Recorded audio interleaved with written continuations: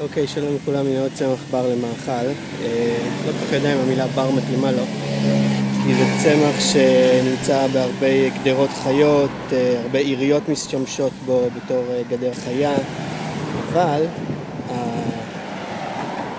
אבל, הדבר הזה שאתם רואים כאן, אני אראה לכם את הפרי מקרוב, אוקיי? אוקיי, זה הפרי.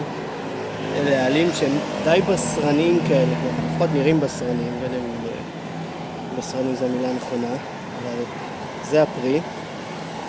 והפרי הזה הוא... הפרי הזה ניתן למאכל, כלומר הוא, הוא גם טעים, מעבר לזה שהוא ניתן למאכל. אז... אגיד לכם איך זה נראה בפנים, אוקיי, עולה בצל. אתם רואים אלה הגרעינים, יש איזשהו חלב לבן כזה, זה לא רעיל, זה מאוד טעים, זה מתוק. אני אוהב את זה. הנה עוד אחד, די טעים.